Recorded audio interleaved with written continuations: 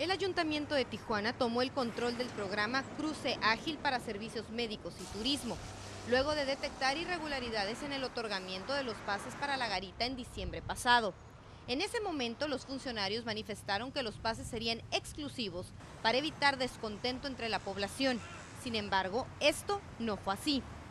Lo que nosotros nos quejamos fue el gran desorden que había, que participaba la policía, que participaba el Cotuco, el CDT y nunca sabía uno a dónde iban los fondos.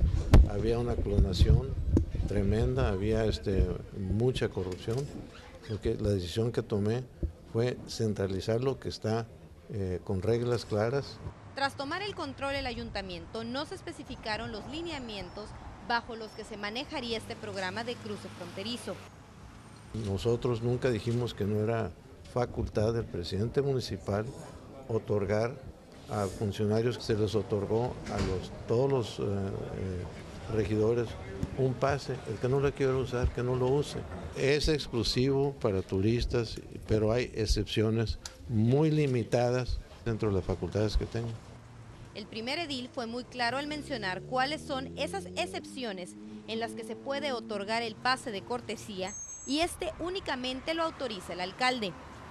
Eh, lo hicimos con los regidores, con todos, para que fuera, parejo, porque algunos, no voy a mencionar nombre, nos han pedido que tienen tareas que eh, hacer en Estados Unidos y que quieren una facilidad. Bueno, una decisión que tomé, yo la tomé y asumo la responsabilidad.